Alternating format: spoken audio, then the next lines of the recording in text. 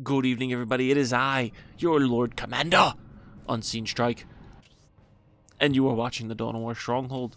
Today I got a good game for you. I believe this is a, uh, a 4v4 or 3v3. Let me double check. It is a 3v3. Here we go. I have rectangles, Rihanna, and Knight versus Buff, Fennec, and more rectangles. My lord, I did not study enough geometry in high school to get here and do this today. Sure, our editor will track them down one day. Who knows? Eh, worst that happens, we'll figure it out. Um, anyway, I forget the name of this map. I do enjoy this map for 3v3s. Um, we have our Dark Eldar. We have Orks in the middle, and we have Space Marines on the flank.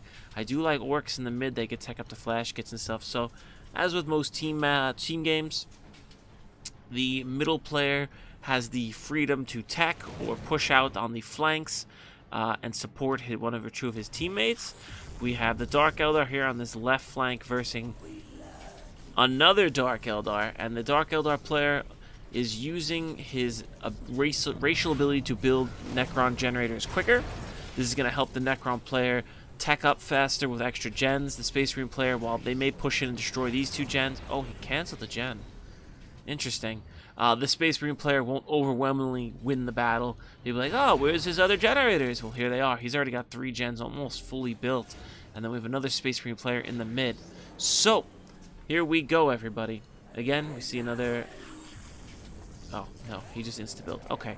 So we have oh, a Necron turret here. So this map is a big circle. Uh, both uh, lanes on the left and right hand side clash. The middle's a super long walk, and it does eventually end up being paths into each other's bases. We have warriors coming out with an Archon for this Dark Eldar. Uh, is this Dark Eldar doing anything? He's getting, he's going Mandrake. So Mandrake versus warriors. This Necron turret here is going to be huge. What's our Ork player doing in the middle? Do we see a Big Mek? Big Mek is cooking. How about our Space Marines? We have some uh, some Raven Guard here. And here we go. The culling of Necron Scarabs begins. They're shooting their pea shooters. Realistically, those Scarabs could have capped that. I don't know why they ran. Uh, interestingly enough, he can't. I guess he canceled that gen to put a turret up, and then he's he's just continuing his generator lifestyle. Uh, I don't like Necron players. Fun fact, I don't know if anybody knows this. They deserve what they get. So we have Space Marines going through the mid. We see Scarabs floating around everywhere trying to be greedy and cap. We have Imperial Fists on the opposite side of the battlefield. And what's our Ork player doing? The Orks, I think, are going to be the pivotal, pivotal unit, pivotable faction uh, in this matchup here. And we have our Warriors here lining up. I don't remember right now what the El Dark Eldar's detector unit is. I don't see any mandrakes currently, but that's because I'm not from that point of view.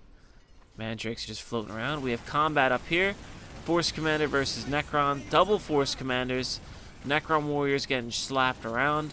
I don't see any Space Marines, though. That concerns me. Where are your Space Marines, sir? They're coming out now. Okay. So Space Marines coming out. Uh, Force Commander on Force Commander Violence here. Knight here, the Raven Lord, uh, Raven Guard are going to lose this Force Commander, unfortunately, unless he pulls back. He's super heavily damaged. On the other flank, Orcs are here on the weak and fleshy Dark Eldar exterior. Uh, underneath the uh, what, what, what, would the, what, what would that be called? The under the undercarriage of the Dark Eldar. Dark Eldar is super weak, especially compared to Orks. He's going Scourges, uh, almost like the Dark Reapers with jetpacks nice build here, but I mean, there's orks in your face. Orks actually flying around everywhere here. And this opens up room for the other Dark Eldar player to move in with a Homunculus. This is a detector unit. And look at this Scourge. They need to fly away. He needs to maintain the Scourge numbers here. In the middle, we have Orks capping up, moving across, just looting and pillaging and doing general Ork stuff. Shooter boys here. Scourges will rip through all of this infantry. And look at this. All these Necron generators are getting punched down. Uh, Necron player doesn't seem to care. As always with Necrons, they don't really care. They're just going to keep doing whatever they want. Normally it's hard to... Look at this! Space Marines! I love it! Look at this. What is this? Is this three squads of Space Marines? A Servitor pushing up? Love to see it. And as always, Necron player just is just not... They don't care. They really just... They're just the worst teammates, the worst race. No, no singular cares in the world. Both flanks being pushed. Uh, the middle Imperial Fist player has to choose. Does he defend the stronger late game race in the Necrons or let his teammate just get ravaged? Uh, he does have the Scourges up. Archon's about to go down. Archon is another, again, we don't see a lot of Dark Eldar games. Archon is another command squad type unit where you can add on uh, bodyguards. Here's the Scourges, and they're just going to rip into everything that doesn't have... Ooh. Fear Grenade comes in, breaks morale on the squad, which is pretty useful. Big Mek, for some reason, attacking the HQ. Needs to start working on these Scourges with his ranged shooters. Here we go, the mass Space Marines here, shooting into the Necron ball. Uh, we need to see that 1-1 upgrade out of the Necrons if we want to see any kind of hope of fighting this back, especially with a Force Commander nestled in there. Space Marines are pushing up. What's happening here? Nothing coming out of the juices yet. Armory coming down. Orks teching it up with many Waaagh banners. Stealth Mandrakes going after a Homunculus Lab. Oh, you silly Dark Eldar. Orks rampaging against this poor Dark Eldar player. And the Scourges are getting picked off by this Big Mek. And they can fly around all they want. Space Marine player from the Imperial Fists actually ran all the way over here to defend his Dark Eldar. This is a good teammate. This is what you want to see. I know I'm making fun of this play. This is good. You want to be standing with your teammates, but the Space Marine ball here is starting to get pretty scary. Uh, I do want to keep an eye on his armory choices. I do want to go over to him because that's going to be key with what happens with this push. Uh, at this point, I just say get some flamers and finish the Necron player off. Necron players, you can see, just still building generators and being just a Necron player. And Grey Knight's out, so the Imperial Fist player quick teched up. This Dark Eldar is going to lose his Homunculus. Oh boy, Grey Knights are scary, but if this player doubles down, he could put a lot of pressure on this Necron, maybe win the game. Um, you know, even a 3v3, whoever, if you knock somebody out, there's a, a, much higher chance of victory. Big Mek is still back here ravaging the Dark Eldar tech and economy. Ork players just slowly won up the map. Here we go. We have plasma pistols and a health increase. Orks are getting a melee increase. And he also got his tier 2 increase. So the chaplain now with this ball. Sergeant's up. We're going to see three plasma pistols on this squad. And that's going to rip through uh, the Necrons. I don't see the plus one, plus one upgrade on Necrons yet. So as always, Necrons just keep building generators. You know, doing their thing. They're pushing back the Orks here. Nice hold here by, uh, I'm going to say this is Team 2, the team up here. Really nice hold. Like to see that. Like to see the teamwork. Scourges are now free to just unleash I hear him flying around.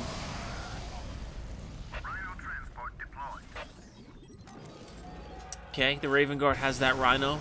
And here we go. Orks are now pushing. Heavy bolters are going to start ripping through these Necron structures. Necron player is still just... Oh, Lord. Oh, my Lord. Oh, God. Why do they always do this to me? Goodness, goodness, why do Necron players do this? Why? Look, so this turret's now coming up really late. This Necron player has had 7 minutes and 50 seconds to prepare for this Raven Guard push, and they're just now getting a turret. And here we go, the Necron's going to really feel the heat. While the pressure here is starting to turn back onto the other Dark Eldar team, uh, these Mandrakes are actually doing work. They have the, I believe that's the Mandrake Poison and Mandrake Rage ability. They're scary in melee. You don't want to mess with them no more. Orks are pushing through the mid here on the other Dark Eldar base. They kind of just shifted pressure. Orks are being real cheeky. The Scourges, if he can maintain these Scourge numbers, he will eventually put the Orks down. And here we go. The Grey Knights are now pushing back. There's a Librarian. You don't see that too often. All three commanders, and here we go. He's going to try and snipe the Librarian quickly. Ooh! I I think he juggled that correctly. He's juggling the in the Rhino whenever any real pressure hits him, but he needs to pull back, kind of just preserve his squads. Maybe put a, a turret or two down.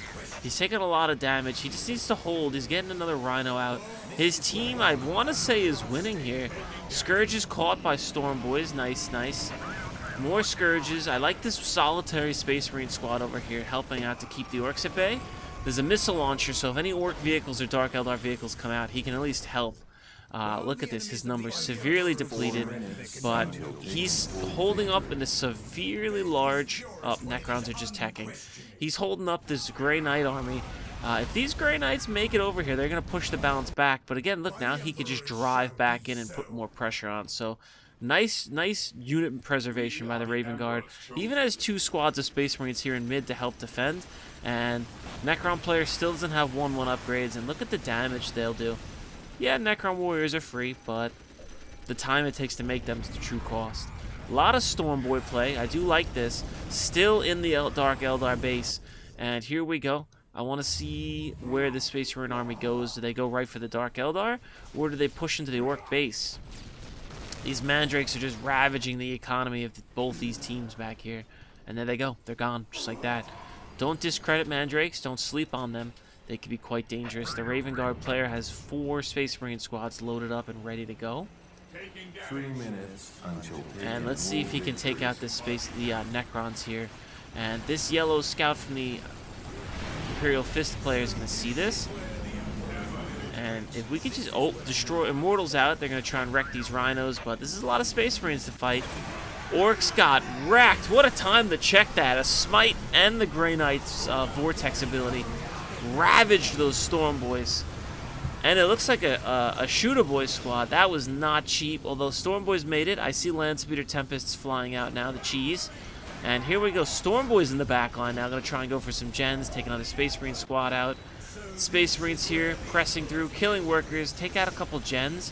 We could take these summoning cores out, Necrons are crippled for another three minutes to do absolutely nothing. Do we have any vehicles coming out from the Raven Guard? A Hellfire Dreadnought's queued. Nothing crazy coming yet. Eco's at 154.60 for this Space Marine player. Necron is still being a Necron. 167.79 for the Imperial Fist Space Marine. And some Sluggas are fighting it out with the Space Marine commander here. Not where you want to see it. The Nob's going to die, but he's going to do some big damage with that Power Claw. Oof. I want to say the Ork does not have all the, the health upgrades. He died pretty quick, even though it was a Power Sword. And look, this Space Marine, the Imperial Fist, has to keep running all the way back across the map because this Necron player, shocker, here we go, here we go. We're going to see another Smite queued up. Nothing yet. Those Grey Knights are not cheap to reinforce. Chaplain breaks morale. Morale is restored by the Sergeant. And yeah, these precious Grey Knight models getting chewed up. He's keeping the Scarab models down. The Solar Burst goes off so this whole army can't shoot. He needs to pull back. I don't think he really fully realizes it. Landspeeder Tempest coming out with uh, frag grenades, so useful against all this infantry. Hellfire, Dreadnought, coming in clutch, shooting them up. How's this battle going? I don't think they know that there's Mandrakes really destroying them right now. Uh, this Mandrake squad, I want to say, is the MVP as they get gunned down. I said they were doing so well, and they get murdered. Uh, and he's slowly picking away all these, these Imperial Fists. I'd like to see a Summoning Core taken down here. Necron player just has queued up Scarabs. Oh, Necrons are awful. Please, please, please don't play the Necrons. Orks are getting their vehicles up finally. Here we go. They're still fighting. Mandrakes and Wych squads are taking out the uh, Team 1's Dark Eldar. And Team 1 brought their Scourges back with shooters. Wyches are very expensive. For free, basically, they get murdered. 60-15 on their cost. Uh, nice pressure. And Space Marines are still duking it out here. looks like the Imperial Fists have the upper upper hand, and I think that's just because they're hero units, but Raven Guard still have quite a bit of heavy bolters to shoot them down. What's their what's their backup plan? Another Hellfire Dreadnought coming in. But look at this. This Raven Guard player is keeping two armies. Well, if you count the Necrons having an army, but two full units worth. Look at this fight. Love to see it. Marines flying there. We're going to hide the, the little toolbar. Hellfire Dreadnought getting shots in on the flank. Beautiful fight. Look at this. Marines fighting to the last. Imperial Fist decides to come in into close range with those Grey Knights. Look at this. Bolters firing. Chaplain is going into the charge. He will not fall today as a grenade takes him out. Here we go. That Landspeeder Tempest is getting its worth. Heavy bolters firing point blank. We got the Force Commander for the Imperial Fists fighting them off with his power sword. Necron Warriors finally joining the fray. This battle's been going on for two minutes, and I think that's the first Necron unit we've seen fight back. Chaplain, does he live? We saw Sergeant go down. Heavy, or just a normal destroyer coming out, and the Raven Guard player has to fall back. This Land Speeder Tempest is the MVP. This Heavy Bolter up here and the Frag Missiles doing work. Another Heavy Bolter squad coming in, slowly picking them off. Um, meanwhile, on the other side, Orks and Dark Eldar picking off Team 2's Dark Eldar. And we're going to see here, this is going to be key. Does he pursue Raven Guard into their base, or does he mount back up into his Rhinos and drive across the map? Orks are decapping everything. This Archon in close combat is no joke, but a big mek with a Nob unit is is even scarier. He's pushing people away. And there we go. Dark Eldar player taps out. And there we go. But the enemy team capitulates. Uh, I really like that battle we saw there. I, I, I honestly, if that went on for a few more minutes, I think the Imperial Fist player would have won. And yeah, he is angry rectangles. I don't blame him. I don't even know who that is. Which one was that? You know who that was. Yeah, he has his Terminators up. I really think that he could have done a better, uh, a good job. Not a better job. He did a good job. Uh, the Necron player, as always, makes me very sad. Did the Terminators come here? Yeah, there we go. Terminators are down. Storm Boys are going to be eviscerated if they stay. He could still clutch this. Storm Boys activate their speed boost, something you don't see too, too often. He's got two Land Speeder Tempests. He's got Termies. Uh, he's just got to make a quick push. I think he, he has a chance to maybe take these Dark Eldar out. This poor worker here is repairing the HQ. And now the only problem is Mega Armored Nobs are going to get gunned down by these Terminators. And they're running away, as they should. I don't know, Mega Armored Nobs are a pretty niche unit. I don't think they're uh, all that. Nice. Storm Boys here, getting in on the Plasma Gens, putting a little pressure on. And here we go. Raven Guard Bat wants round two. His Terminators are here. Let's see. Does he run his unit, his his melee Terminators into these Grey Knights? At least we get a photo finish here. That's what I like to see. Termies coming in versus Grey Knights. A valiant last stand. Let's see. Does he pop Word of the Emperor? It looks like he did. I can't tell.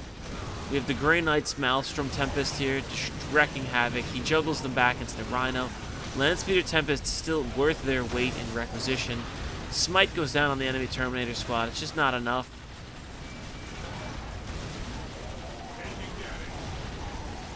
And the Grey Knights actually did a really nice job versus the melee Terminators there. Uh, granted, the Assault Terminators here for uh, the Imperial Fists were shooting the autocannons right point blank into them. Uh, damn, Raven Guard player, if he got a couple missile launchers, I feel like that game would have been much shorter. Um, especially that one Land Speeder Tempest. I wish we could see. Uh, I wish we could see kills. Oh, excuse me. I wish we could see kills on some of those units. That one Land Speeder Tempest was flying over the battlefield. Look at the just clumps of, of Space Marines for the Raven Guard player that went down. I mean, there's a good amount of uh, Imperial Fist Space Marines here. But man, oh man, the, those frag grenades, don't sleep on them. I feel like the Hellfire Dreadnoughts didn't do a lot. See a Predator here as well. Anyway, good game to all these players. Got to see a nice battle there with all those Space Marine players. As always, the Necrons make me very sad. We'll check over. Here's the general screen. Looking good, looking good. Fancy, fresh, fresh. We'll check the military. Who was this? Was he the Raven Guard player on Team 1? He was. He had the most kills. He was doing a lot of fighting. I like the Ork Dark Eldar player, though. You normally don't see a lot of Storm Boys like that. Uh, backed up with the Dark Eldar players, Warriors, and Scourge. That was a nice play. And we'll check the technology. I wonder which one was the Necron player. Do we remember? Oh, Re Frenetic was the Necron player typing rectangles. You bastard! How could you do this? No! Necron player just builds gens, as always. Anyway, it's been me, Unseen Strike, the Lord Commander. Uh, I got one more of these for today for you guys. So this is the end of this video, and uh, I'll see you next time. Leave a like, leave a comment below, let me know.